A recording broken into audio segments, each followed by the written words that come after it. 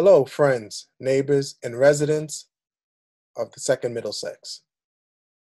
My name is Gary Fisher, and I am a Democrat running for state senator of the Second Middlesex.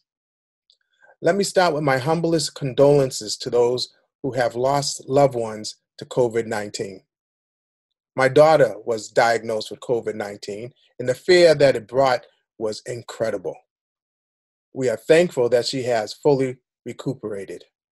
I ask that we stay vigilant and reduce the spread of this virus. I stand with Black Lives Matter movement. I understand and I acknowledge their desire to make changes to improve our society and make, sure, make us aware of past and present wrongs while demanding equality. It is time to carefully move from protests to policies like the No Hate Act. Let me tell you some things about me personally. I am a father, grandfather, educator, and an advocate. Raised in Cambridge, along with eight brothers and sisters, after graduating from Cambridge Public Schools, I received my undergraduate degree from UMass Boston and a master's from Boston College. I spent 32 years as an educator in Boston Public Schools, teaching civics. I found love in that work and advocating for my students as well, their community, and my peers while negotiating union contracts. I am committed to accessible, affordable housing, quality public education, free and assisted tuition for state colleges, additional support to protect the elderly, and full transparency with healthcare costs. As an advocate for the working class, I am running to fight for the working class that has been forgotten for the past 15 years. The first issue I would like to address is housing. Affordable housing is important to the people of Massachusetts to be more direct. Cambridge, Somerville, and Medford. For example, the average annual salary in Cambridge is $86,000, and the average one bedroom rent in Cambridge is $37,356 a year. This is almost 50% of one's salary. In Somerville, the average salary is $69,000 a year. And the annual rent is $35,928, which is almost 50% of annual salary. I believe rent should not be more than 30% of one's annual salary. This issue has deteriorated the population of potential home buyers because you cannot save if half your salary is going to rent. You will not have a down payment on a house if half your salary is going to rent and the other 50% is just to live on. The issue has grown to this point under the purview of my opponent, and nothing has been done. The next point I wish to address is education. To educate all students, we must have the correct environment and educational resources. Our future, future rests in the public schools. We must provide educators and students with tools to enhance learning. There are four points I wish to present. First, smaller class sizes. With smaller class sizes, we're able to reach every student.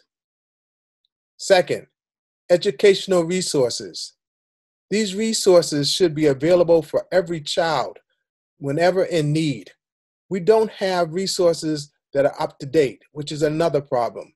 We need to have up to date technological resources available for every child. Third, teachers working under one certification. For those who don't understand, a certification is the license that a teacher gets.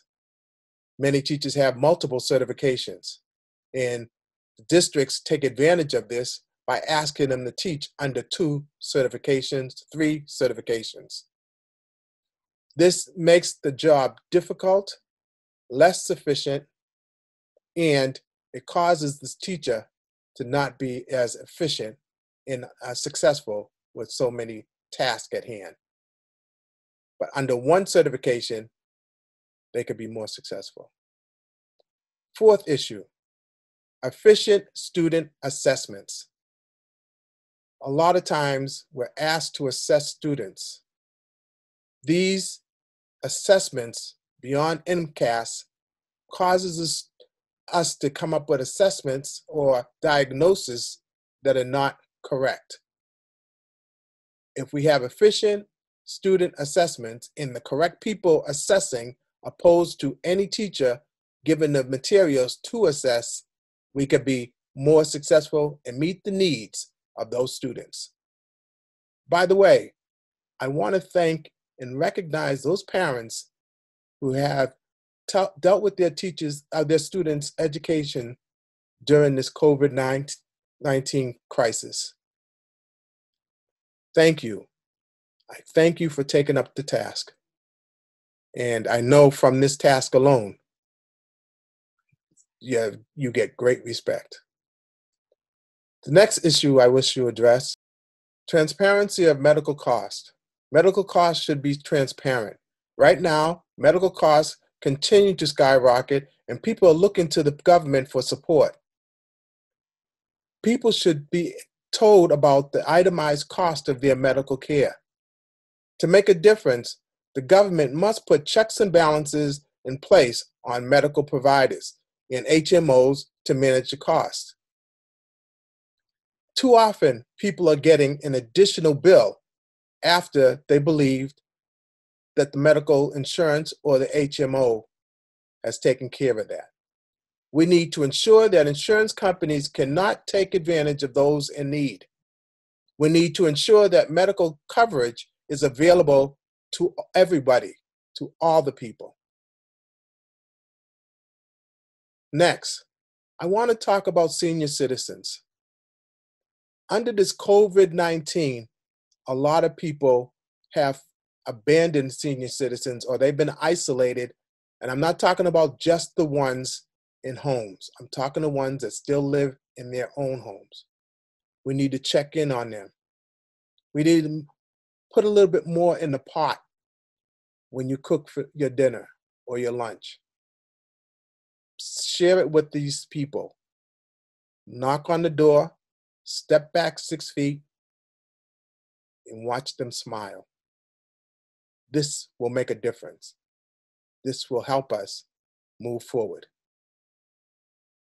Next, I want everyone in Second Middlesex District to do an after action report and start with the question Could your life have been better within the past 15 years based on state government decisions? Second question Do you have a big ask? Send your answer to Gary Fisher 2020 at gmail.com. What do you need from me as your senator?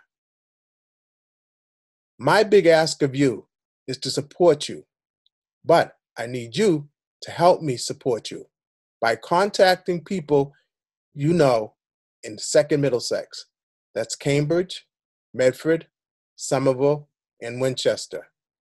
In your Go to your address books. Look on your phones. Call these people. Explain who Gary Fisher is.